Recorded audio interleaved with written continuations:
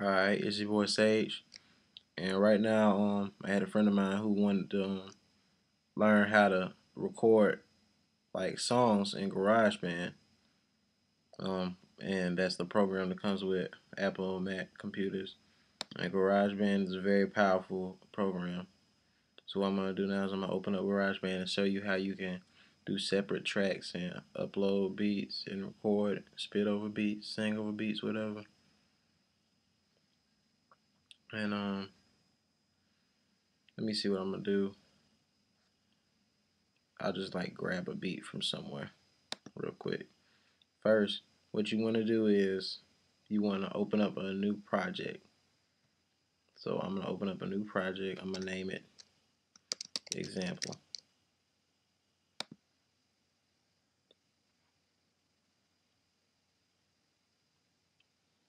And while that's loading up, I'm gonna look for a beat. Let me see. This is a beat I just wrote to. I'm not going to spit the actual verse I wrote. And you just drag and drop it in there. It'll import the file. Excuse me, Garage. It'll import the file and it'll convert it to AIF so GarageBand can read it. That's going to come up automatically. And then we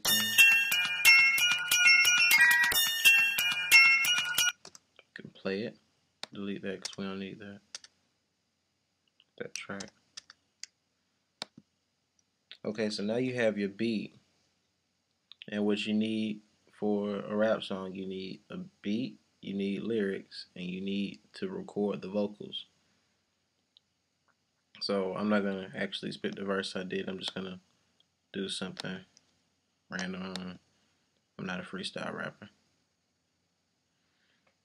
but you see what I just did there? I click the plus sign right there to add a track. I click real instrument. That's something that's going into your mic. That's on on your MacBook. since I already created a, I already created one, it says no effects right now. So what you want to go over, you want to go over to the real instrument, and it has the effects right here. And since you're doing vocals, I'm gonna click on vocals, and it has all these settings for vocals you can do. So right now we're gonna go to male, where is it? Male basic, which is what I basically do. And then now I set on male basic. Then you click edit. You want to turn on the noise gate. Maybe play with it a little bit until you get the sound you want. You can turn on monitoring right here. But we're not to do that right now because I'm to get like a shitload of feedback if I keep it on. And then you want to turn off the bass reduction, usually to get the best quality. Turn the compressor to vocal compression wrap.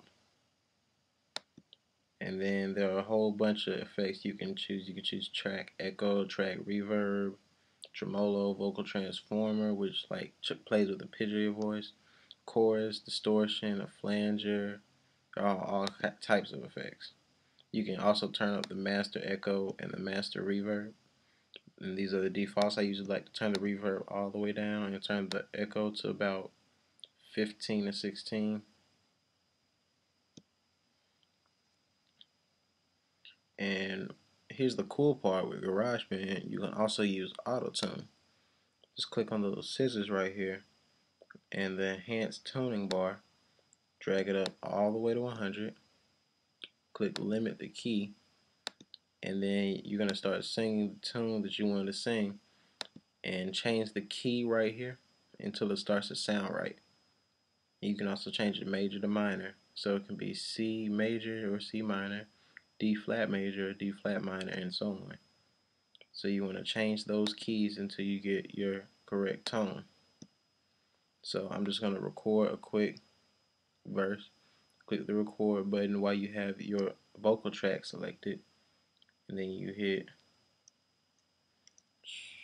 you're going to want to use headphones uh, which I didn't prepare for so. Use my headphones right here.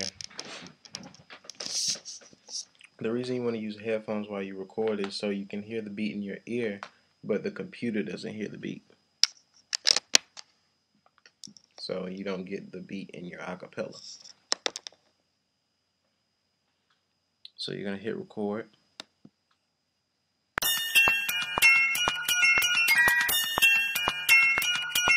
I'm Sage and I'm recording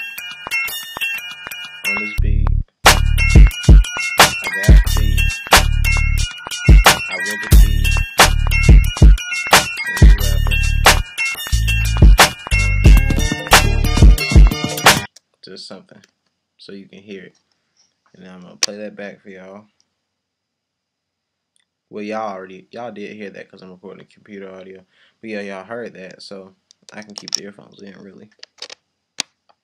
I'm gonna play that back.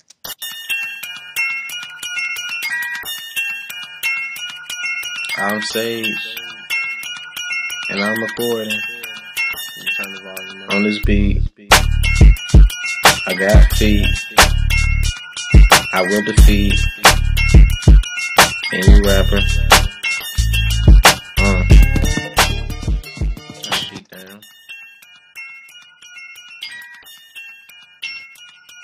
I'm Sage, and I'm recording on this beat.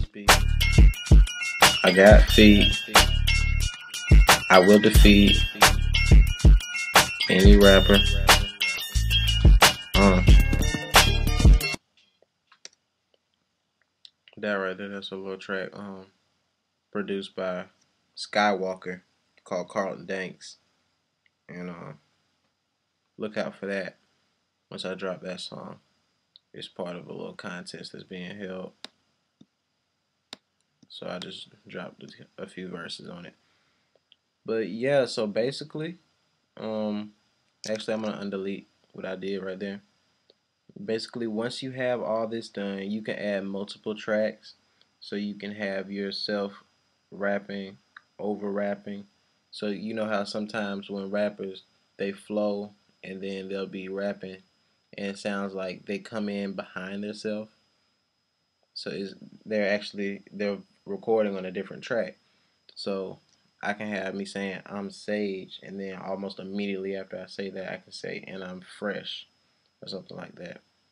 I'm Sage and I'm fresh, but you find it like impossibly hard to flow that line because they they did it on a different track.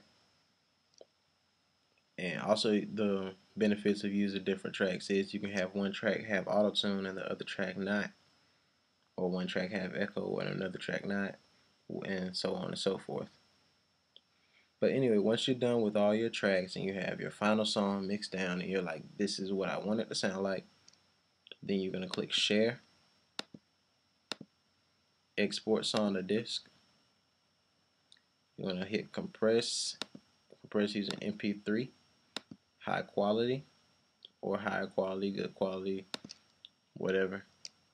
You click export, and then you save it as example. You can save it to the GarageBand folder or desktop or wherever. And it's going to create your mixdown of all your tracks. Normalize it, which means it's going to make the volume normal so you don't like destroy people's eardrums. And it converts it to MP3.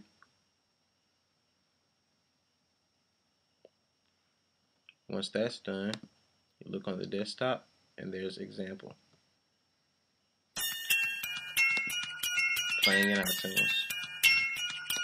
I'm Sage and I'm recording on this beat.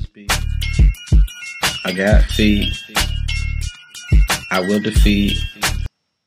So there you go. That's a quick tutorial. I'm gonna delete that MP3 because God, if anybody hears that. But um, that's a quick tutorial on how to record in GarageBand. And I'm Sage. I take requests. And please subscribe if you're reviewing this on YouTube because I'll probably put this on Vimeo as well. But um, yeah.